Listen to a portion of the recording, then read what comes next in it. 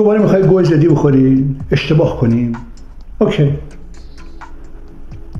یک حقوقدان زدیم کشتیم حالا یه معمار اومده جاش.